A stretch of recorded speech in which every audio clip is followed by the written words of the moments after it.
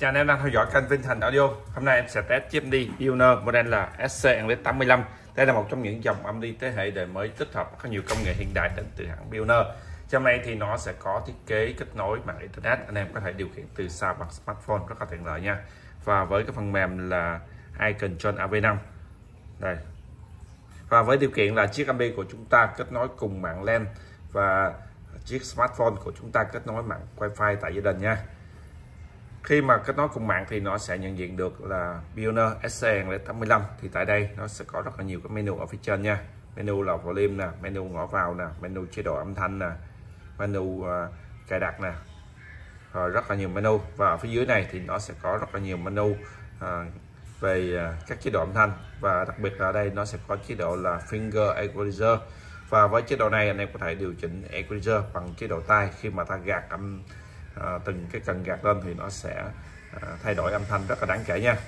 Rồi bây giờ thì em sẽ test cái cổng vào đầu tiên. Đây là cổng VD cổng HDMI anh em có thể lấy tín hiệu từ một cái đầu điện HD đưa vào nha. Về hướng dẫn sử dụng và cài đặt thì anh em có thể tham khảo thêm trên kênh youtube của em. Có rất là nhiều video chi tiết nha.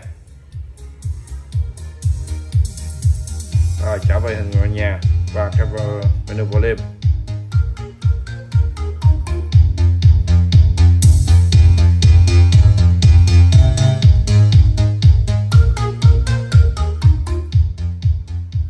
Rồi đó là về cái cổng ờ, HDMI và tiếp theo nữa là cổng quang nha. Đây, cổng quang. TV sat rồi, tăng volume lên.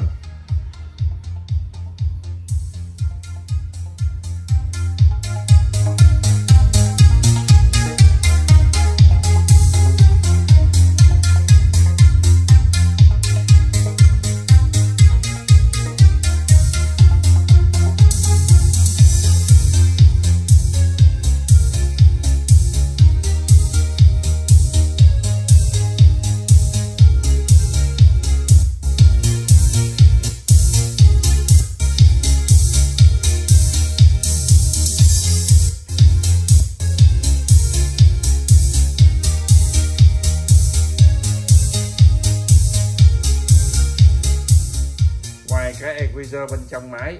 À, nó sẽ có tổng cộng là 6 bộ nhớ à, memory. Thì anh em có thể chỉnh thêm à, finger equalizer nó sẽ cải thiện âm thanh rất là đáng kể nha. Rồi bây giờ thì em sẽ test tiếp cái cổng là USB nha. Rồi cổng vào USB iPod USB rồi. Nha. Yeah. USB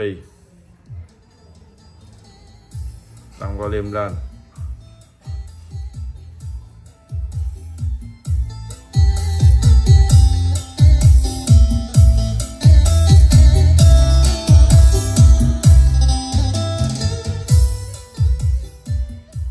Rồi, hoạt động ok nha, mọi chức năng. Đây là chiếc điều khiển từ xa. Đây là nút AV nha. Anh em chú ý cho em là cái nút này. Khi mà À, chúng ta chuyển nó vào và chúng ta muốn điều khiển lại à, chức năng cho chiếc âm thì ta phải nhấn là AV nè. Rồi, đây là nút à, điều chỉnh là audio parameter, nó cũng sẽ tương tự như cái nút ở trên đây. Đây, khi mà nhấn lên thì ta nhấn mũi tên lên trên cùng nha, thì nó sẽ tới là memory nè. Memory 1 2 3 4 5 6 nha. Em đã cài đặt cho memory số 1 nha. Rồi, di chuyển xuống memory số 1 nè. Xuống một ton nè. Anh em mở ton on lên nha, mới chỉnh được bắt chép đây, tăng bắt và tăng cộng chữ chép cộng chữ bắt ở đây. Và đây nữa là cái à, SRTRV đây là một tăng cường âm thanh kỹ thuật số nha. Anh em à, kết nối vào để ta có thể à, tăng cường chất âm lên. Rồi, em sẽ chuyển về cái cổng Blu-ray là cổng HDMI nha. Rồi, để sử dụng chế độ là nghe nhạc bằng tất cả kênh loa thì ở đây nó sẽ có chế độ là Advanced Surround anh em nhấn nhiều lần để tới chế độ là EST stereo nha. Còn trên cái app thì anh em có thể nhấn này đây, trên app là nhấn hình ngôi nhà nè.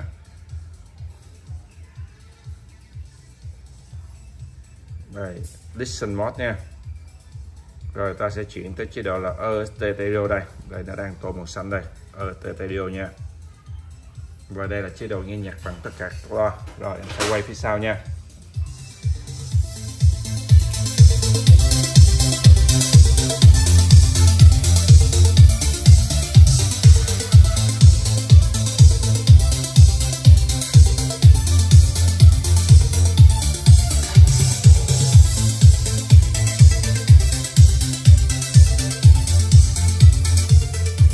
Rồi, đây là hai lo chính nha. Đây là dây mặn lên anh em kết nối vào để có thể điều khiển từ xa bằng smartphone nha. Em rút ra để cho nó gọn nha.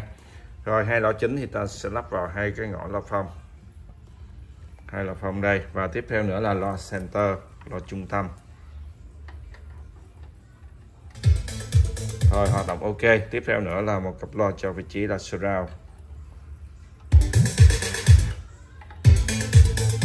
Và lo surround và đối với cái tín hiệu ở ra loa, phòng 2 và phòng quay thì à, khi mà có tín hiệu đa kênh thì tùy theo thì nó sẽ out ra nha. Ở chế độ nghe nhạc thì nó sẽ không có nha. Đây, có thêm phòng 2 luôn là tổng cộng ra được 9 loa nha. Rồi, như vậy là 9 loa hoạt động ok nha. Con này chạy class D hiệu suất cao nha anh em.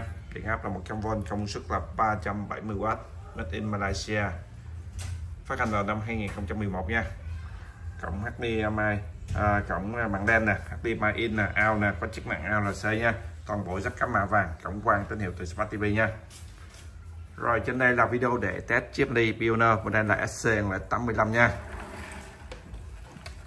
Máy đẹp long lanh hoạt động hoàn hảo mọi chức năng. Rồi xin cảm ơn anh em đã quan tâm theo dõi và đăng ký kênh. Xin hẹn gặp lại anh em trong những video tiếp theo.